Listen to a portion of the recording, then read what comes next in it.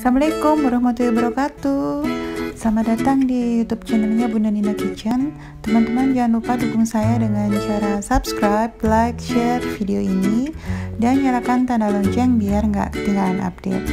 Kali ini saya akan share kembali resep eclair dessert cup. Ini dulu sudah pernah saya share di IG dan Alhamdulillah responnya bagus Bahkan dijadikan menu jualan. Selamat menyaksikan, tonton videonya sampai habis ya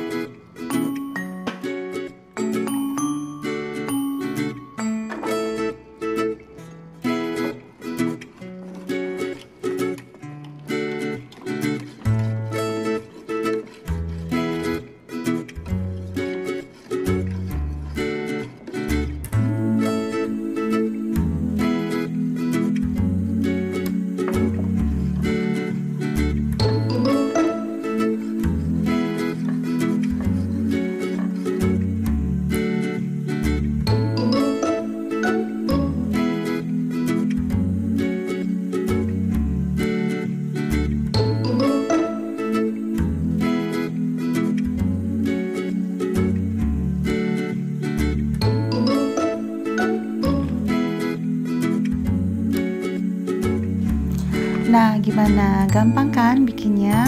Bisa jadi ide jualan juga ya, karena dessert cup, dessert box kan memang lagi hit. Oh ya, kalau ada beberapa bahan yang mungkin susah untuk didapat, teman-teman bisa lihat penggantinya di deskripsi di bawah ya. Terima kasih sudah menonton.